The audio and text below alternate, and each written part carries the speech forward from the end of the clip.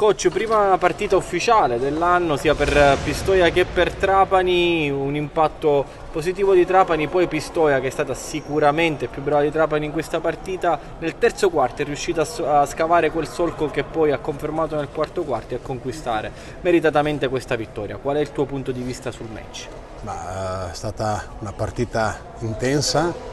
da parte di tutte e due le squadre, al netto appunto del, del periodo della stagione. E Sicuramente noi oggi in attacco siamo stati eh, meno, meno, brillanti di quello che secondo me possiamo essere, prova ne è anche un po' le percentuali da tre punti che non ci sono state di grande aiuto, però ecco, in, un, in una partita in cui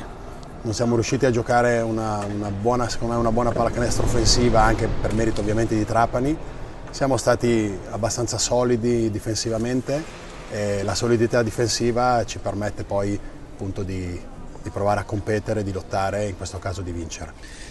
Non lo dice lei, lo dico io, Pistoia si presenta quest'oggi a Trapani senza comunque un giocatore americano che, vista l'allontanamento di Ola Seguere per motivi personali, eh, è da parte sua sicuramente questo un buon segnale per i margini di crescita della sua squadra. Ah, sicuramente giocare senza un americano in un campionato dove ce ne sono solo due è, è, un, è un, buon regalo che, che diamo agli avversari. Adesso speriamo di, di, di, di averlo presto e di riuscire a essere al completo e allo stesso tempo stiamo di avere anche un, buon contributo da, da, Magro, che per noi ovviamente è un giocatore importante, ha avuto qualche acciacchino, ma adesso speriamo anche lui di, di poterlo avere con dei minutaggi un po' più importanti per, per il tipo di giocatore. E quindi,